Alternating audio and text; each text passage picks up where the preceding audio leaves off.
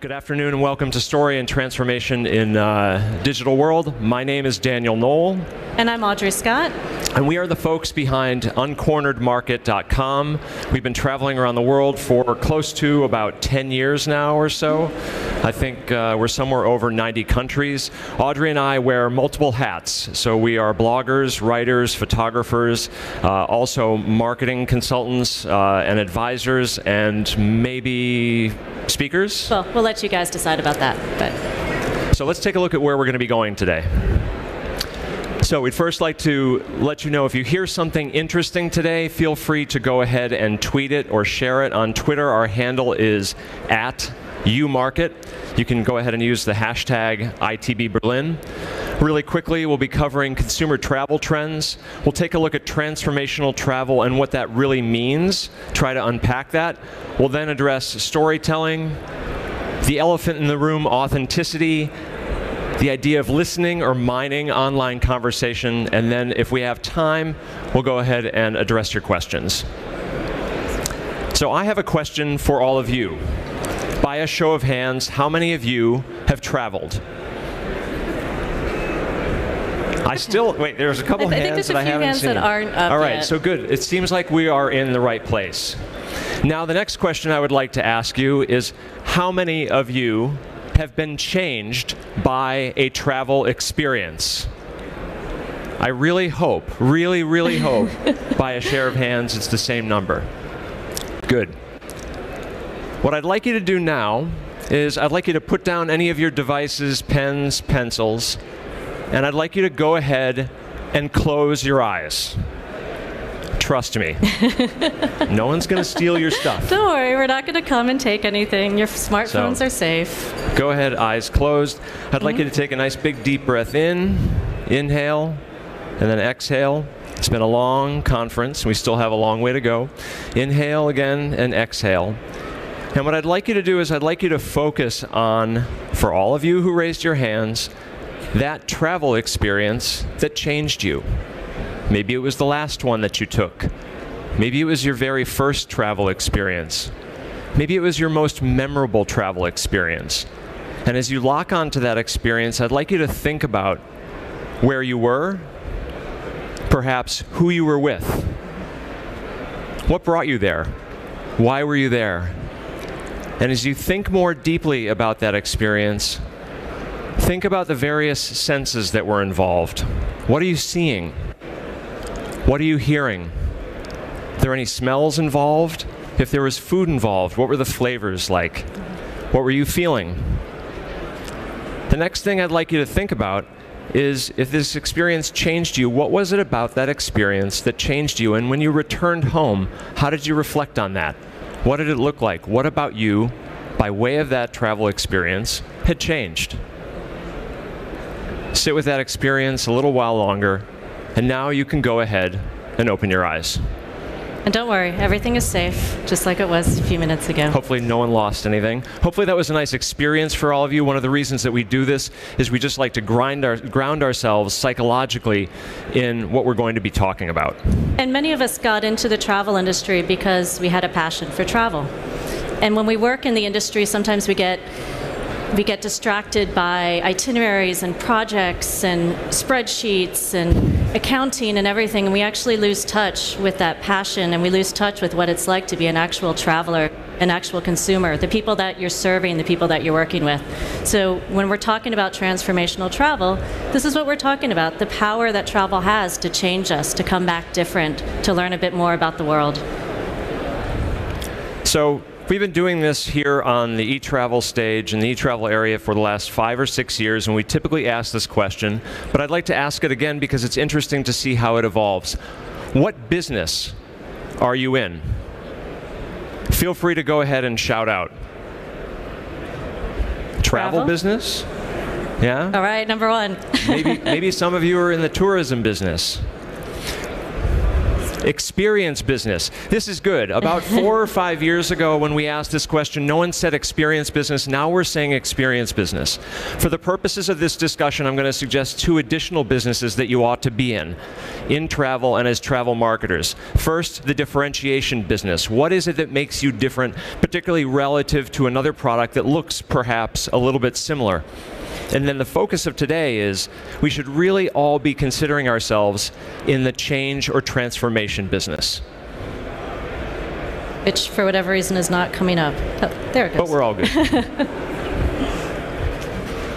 so, one of the reasons why we're talking about transformational travel is because it's kind of the new buzzword. It's kind of the new trend that everyone is talking about. I feel like between December and March, I read all different articles of, you know, it used to be experiential travel, now it's transformational travel.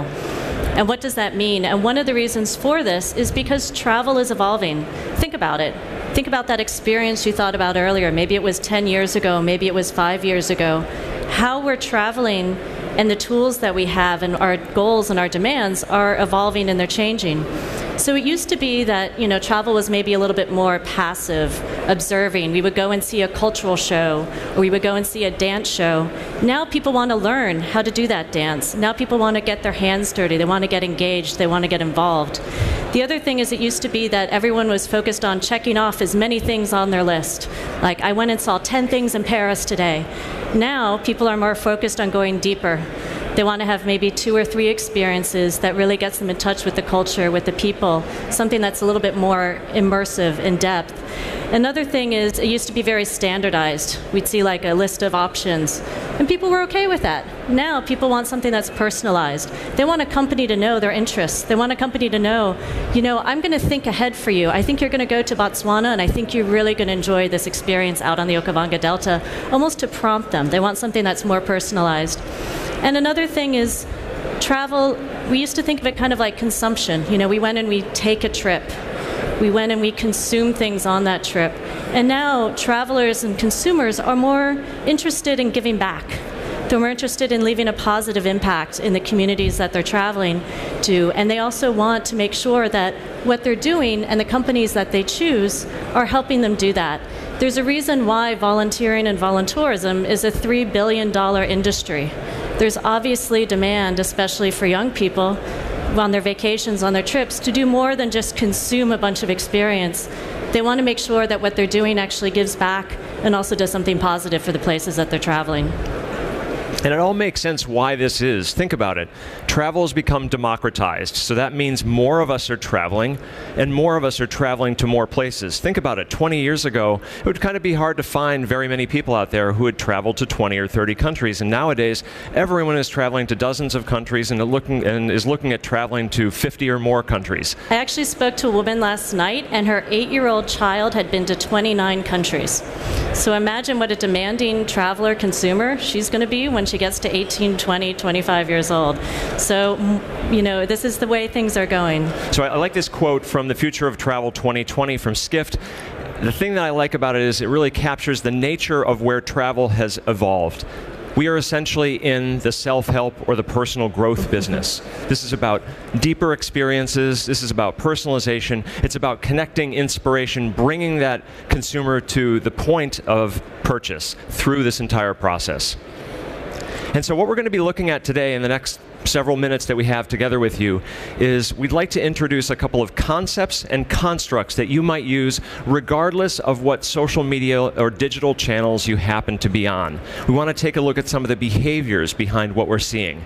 And so when we look at transformational travel, the question is what is it ultimately about? Because it can run the risk of being a buzzword.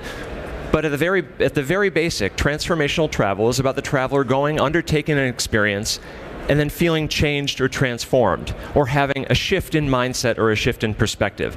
And the question is, how do we communicate that as travel marketers as a potential of our product or experience that we're offering? One of the first constructs that we would like to offer is the idea of connection. And what I'd like to do is break down how that happens. I like this quote Seth Godin, master marketer. Now, the things we pay extra for are connection. We should pay attention to this. People want to pay money for this. So, how do we communicate it from a marketing perspective? And then, how do we embed it in our products and experiences? We offer the three levels of connection. The first level is the idea of connection to place. This could be place, destination, or environment. And the various sorts of sub themes that we're seeing is this idea of possibly disconnecting to reconnect, right? Sort of digital detox kind of idea. Connection to place. The next idea or next element is connection to people. Perhaps the most underserved dimension of travel is people and humanity. And it makes sense that now a lot more experience providers are looking to highlight the role of people in those uh, experiences. And this, this experience is from Jordan, and we spent about two weeks there a few years ago. And we went and saw Petra, we went and saw Wadi Rum, you know, we saw the stars at night. And all of that was incredible really great memories. But often when people ask me about Jordan, I come back to the three hours I spent with these women um, in a disadvantaged community near the Dead Sea, and just how I felt with them, how I learned from them, how they were sharing of kind of their own culture and their community. And so it really is this kind of, it stays with you, the stories with people, and especially now, given the discourse and where things are going, I think this connection to people, there's a real opportunity in travel to connect people together and to learn from each other to help us let, have less other in the world and have more understanding of our similarities. The interesting thing about these elements of connection, we use these on our social media channels as well. They can be used individually in a, in a single story panel, or they can be used in a multi panel and combined together. It doesn't matter whether you happen to be on Facebook Live, in video, on Snapchat, or on Instagram. The final element of connection is this idea of connection to ourselves.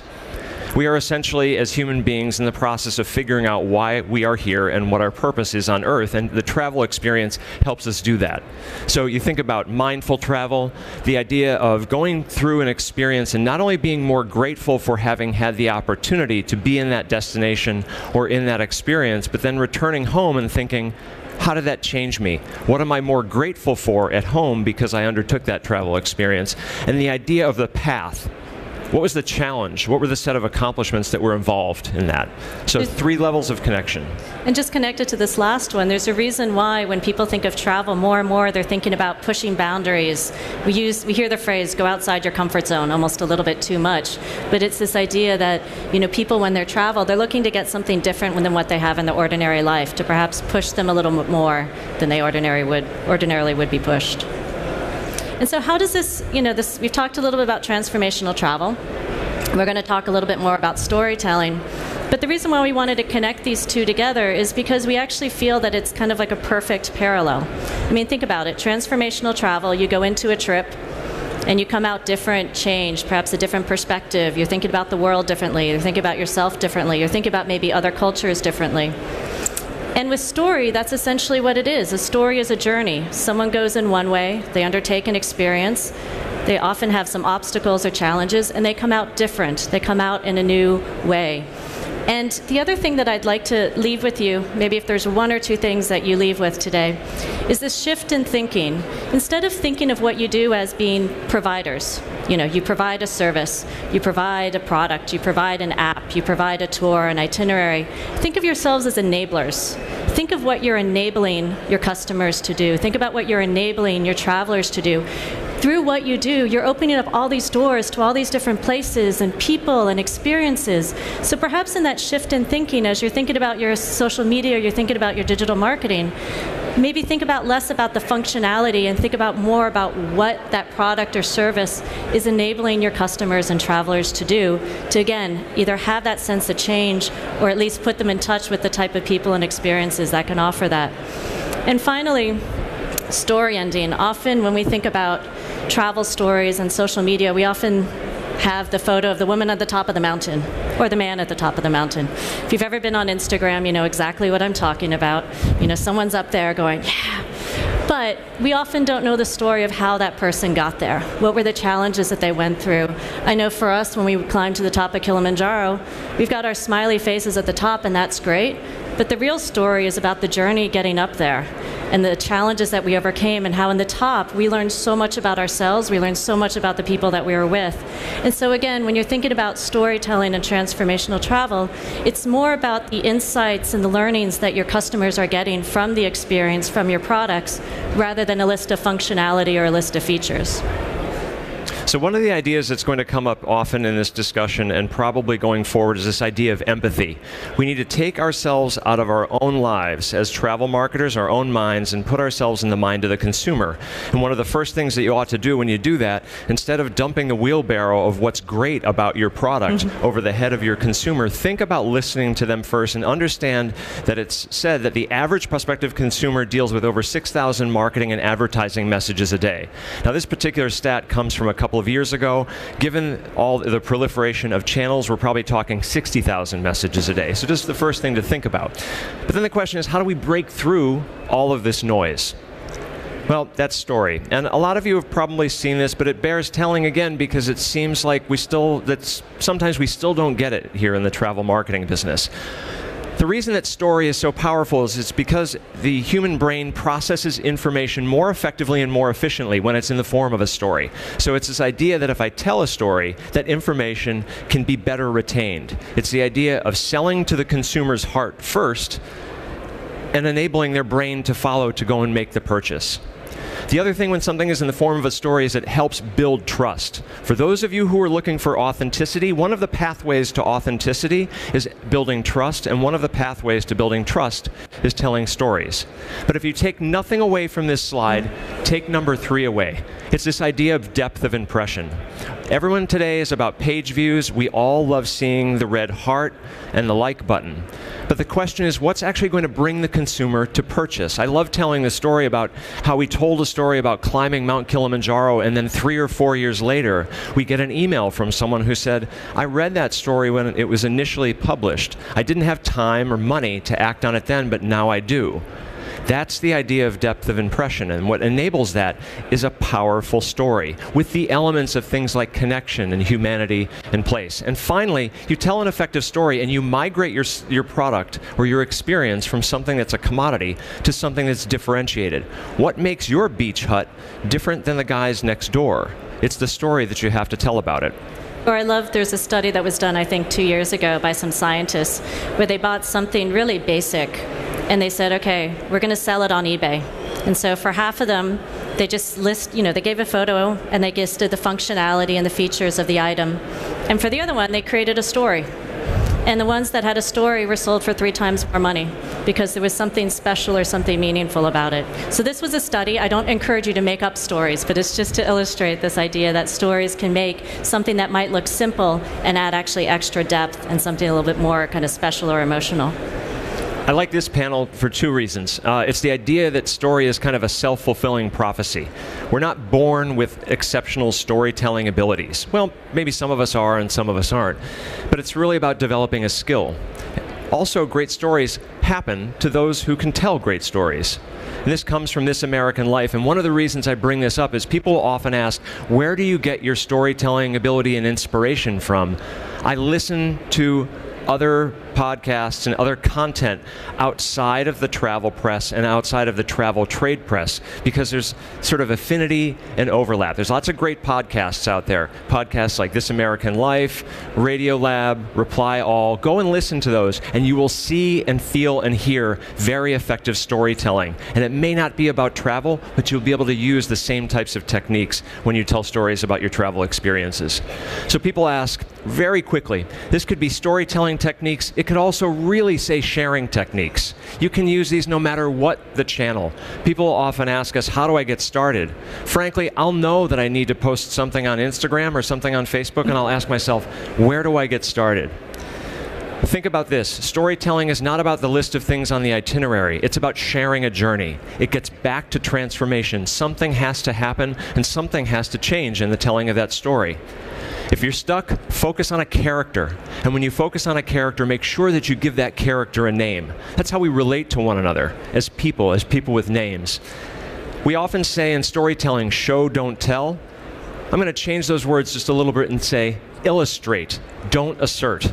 If your experience is going to change someone's life, don't just say that I, am going to change your life or you're going to have the experience of a lifetime. Show me exactly what the elements of that experience of a lifetime are.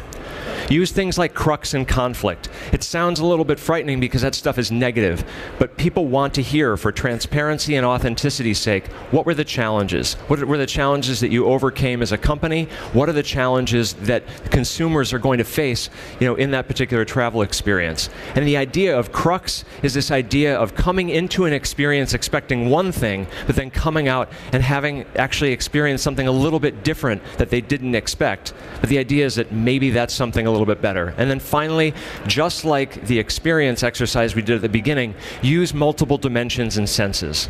So if you're giving me something visual, tell me what am I hearing? What am I feeling? Are there any smells or flavors involved with that? And try to be as descriptive as possible.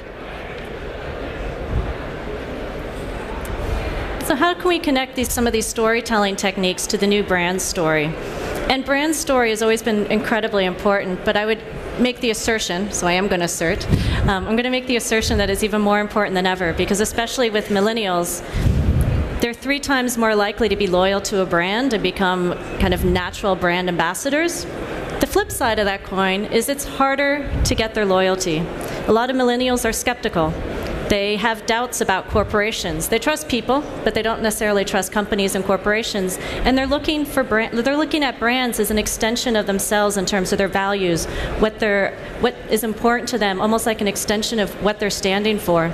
So when you think about your brand story, don't just say what you do but say why you do it. What is it that's part of your experience or your company or your brand that's perhaps bigger than just the app that you're offering or perhaps the product or the service? Think about also what you're doing for perhaps the community. Or maybe think about it this way why is the world a little bit of a better place because my company is here? What is it that I'm doing that perhaps helps other people connect or perhaps connect them to new experiences, help them have these transformational experiences. So it's not just about what you do, but it's about why you do it. Another thing is, I kind of like to say that activism is the new sexy. I mean, especially now, and maybe it's because of kind of the political climate, but brands that are taking, they're not just talking about it, but they're actually taking a stand and taking action on something that, that demonstrates their brand. They're getting a lot of loyalty and a lot of followers because people, especially for millennials, they're looking for brands that they can follow as almost like a movement to say, like, I'm acting in my values by supporting this brand or buying this, this product or this company. Another thing we've talked a lot about authenticity. Um, with the brand story, it's also about transparency. Usually, we only like to show the pretty things. We like to show only like the final result where everything worked okay. But again, especially with millennials, they don't necessarily trust companies that much. So be a little bit transparent, perhaps, on some of the challenges that you're going through. If you're an NGO, we all know that it's tough working in communities and development work. Kind of, what was the process, and how has the values of your brand helped you get through that and get to the other side? And the other thing is, a lot of times with brand stories, we think of the founder story or the employee story. Those are important, but start thinking about your customers as the, as the characters in your brand story. Again, what is your brand enabling them to do? How are they coming out different by using your product, your service, whatever it is that you're offering? And again, with millennials especially, they're looking for this authenticity and this two way conversation, and they want to speak with brands almost as people as opposed to corporations. So, how does that work in terms of trying to show this authenticity or trying to develop this trust on digital and social media? I would say think about the first instinct is to help. Again, people trust people, they don't trust companies. So when you're the face of your company, your face of your brand, and you're on social or you're on digital, make sure that your first instinct is to help. And actually, even just before we walked in, we ran into a friend, and she kind of was shaking her head, and she's like, I went to a stand, and the first thing they tried to do was sell me. They didn't even answer my question. Um, and that's actually, unfortunately, something that happens quite a lot. There's a customer, a traveler who has a need, who has a problem, who's curious, who wants to know, and all of a sudden they're hit with a sales pitch, or they're hit with tour um, or brochures or something like that first try and help the person, try and understand what it is that they need or what it is that they want. And that gets to this idea of inspiring and informing. In marketing, we often focus on the inspiration, and that's great. But if you don't provide actionable information or actionable advice and resource to, to help that customer go from seeing that photo of the person on top of the mountain to the information that's like, oh, I can do this too. I mean, I can't tell you how many times we write articles, and at the beginning it's very inspiring and these really dramatic photos, and at the end we're writing all these all the information to try and help other people get there. And people will respond to be like, I never thought that I could do that, but now I realize that I can. So if you're asking yourself, how do I become an authority? It's really those first two items, and to do so with a human voice. If you come away with anything from this slide, it's really the idea that actionable or practical information is the bridge between inspiration and conversion. We can't live on inspiration. We can't eat inspiration. At the end of the day, we actually have to sell product. And the bridge is inspiring first and then delivering the practical information so you can bring that customer to the point of sale and transaction so they actually buy your product. So we want to talk a little bit about listening. Empathy has obviously shown up a lot of times in this discussion. And what we want to do is suggest at all times during your discussions with potential customers on social media, potential partners, is look for objectivity. Get outside of your own head and think, what is that person on the opposite side of me looking for? And then listen. And as you listen to those various conversations on all of your social media channels, especially through your customers who are sharing, ask yourself what is it that they're sharing? What do they believe? What are they demonstrating as most important to them? And is there an alignment between that and your own marketing and your own social media. Because if there's not, then there's a gap and you're missing an opportunity. If your customers are saying, these are the most important things over here in this experience for me, these are the most differentiating factors. It's not about the temples, it's about the lunch with the kids at the local NGO. Well, then maybe that's something to potentially incorporate into your marketing. And how much you do this? I mean, Dan was just talking about in terms of comments or perhaps feedback forms on your own social media sites.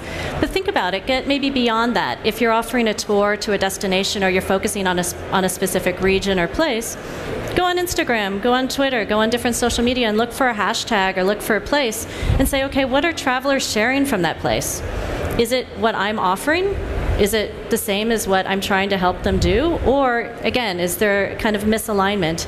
And the other thing is, which ask them questions. People always are afraid to ask people, but often travelers love talking about their experiences. So if you are on Instagram, then maybe tell, ask a question. Say, hey, you just were in Kyrgyzstan and you just did this new trek. What was your most memorable experience? And often people will tell you because they're excited and they want to share it with you. And how can you use that information to go back into perhaps your product development and also your marketing to understand, to align what matters to travelers and what means a lot to them and for what you're selling and how you're marketing it.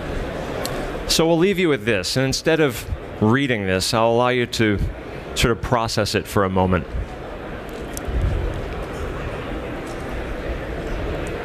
The holy grail, it says, is virality. We all want that virality. We want that, that red heart clicked as often as possible. But as we've indicated before, virality is not necessarily going to feed us, it's not going to give us viability.